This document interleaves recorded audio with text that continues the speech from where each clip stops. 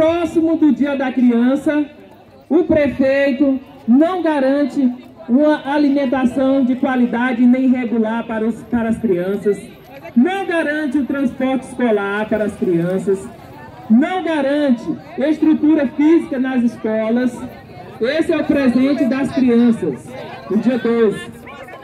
E o do professor foi exatamente o que aconteceu aqui hoje. Sem nenhum receio, sem nenhum receio. E desafiando o professor, assim como fez e vem fazendo o prefeito, hoje os vereadores, aliados do prefeito, fizeram a mesma coisa. Desafiaram, desrespeitaram, zombaram e aplicaram o golpe ao professor de Codó. É dessa forma que nós estamos sendo tratados pela administração do prefeito Zé Francisco.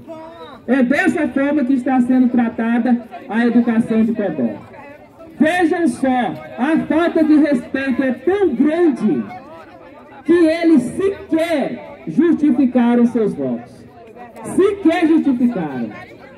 Vieram pressionados pelos acordos que fazem, se elegem e aí chegam aí.